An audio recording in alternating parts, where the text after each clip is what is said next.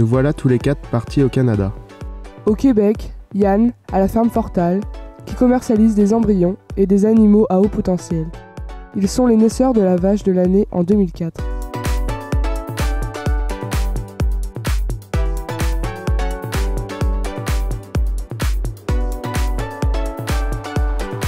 Justine à la ferme Le Hou, qui a eu le titre de maître éleveur en 2000 et la vache coup de cœur de l'année 2013.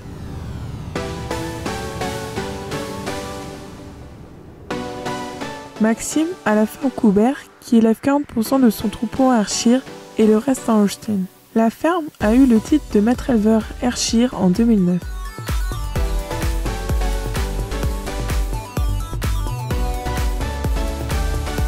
Et Camille en Ontario à la ferme Beaver Ray qui possédait la championne canadienne lait en 2008.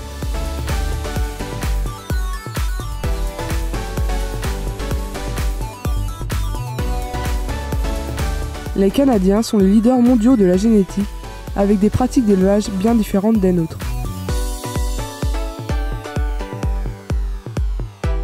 Coup de projecteur sur le métier d'éleveur en génétique.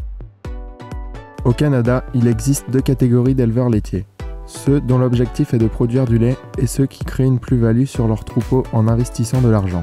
Cette mise est intéressante en vendant des animaux d'excellence ou des embryons. Pour créer leur renommée, il faut parfois tout le travail d'une vie.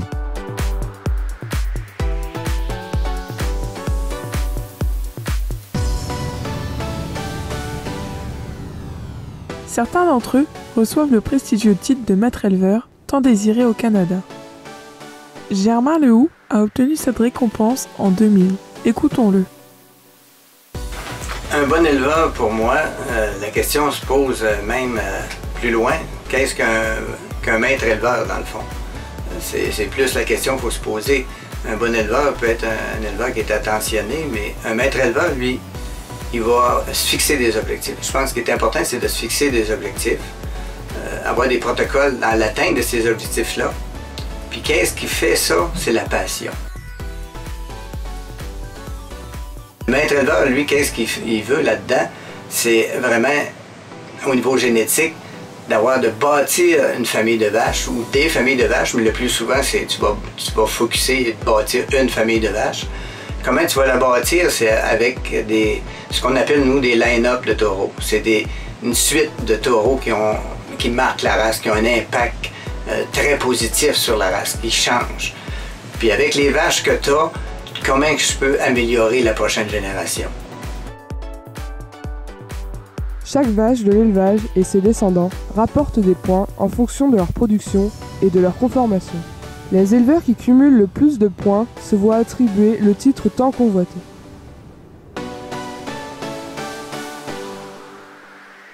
L'observation est indispensable à la réussite des objectifs fixés. L'environnement, l'équilibre de la ration, la santé, l'hygiène, le confort, les soins apportés sont autant d'éléments qui influencent l'expression du potentiel génétique.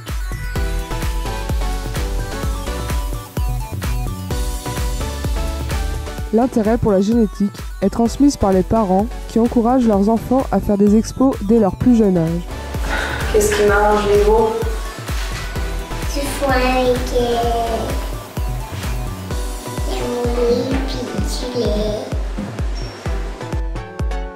Des clubs de jeunes sont ouverts dès l'âge de 5 ans et ce jusqu'à 25 ans. En effet, les 4H en Ontario et les jeunes ruraux au Québec créent un dynamisme auprès de la relève.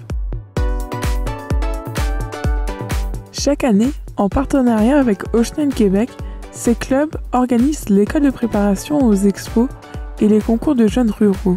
Tout est fait pour motiver la jeunesse à continuer et faire évoluer cette vocation.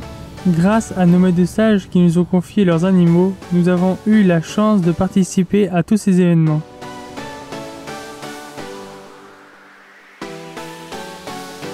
L'école de préparation se déroule sur trois jours.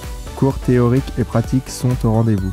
Tout au long de cette formation, les élèves sont évalués par équipe de 6. Le dernier jour a eu lieu le concours de showmanship noté individuellement et la remise des prix. Ces activités nous ont permis de rencontrer de nombreux acteurs de la génétique. Les rencontres avec les jeunes du milieu nous ont permis d'apprendre, d'évoluer et de nous mettre à l'épreuve en travaillant ensemble.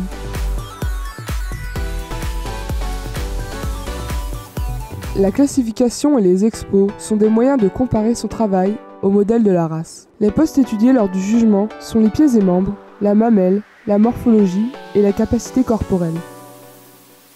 L'expo est la vitrine de l'exploitation et lui donne une autorité permettant ainsi la commercialisation d'animaux et d'embryons.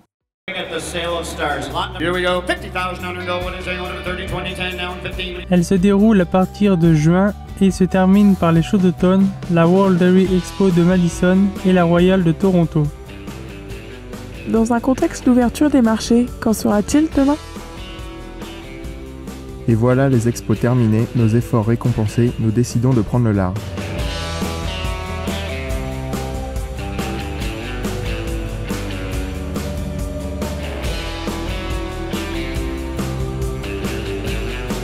Nous avons tous les quatre vécu une expérience inoubliable en découvrant les cultures, les traditions, mais surtout en rencontrant des personnes mémorables.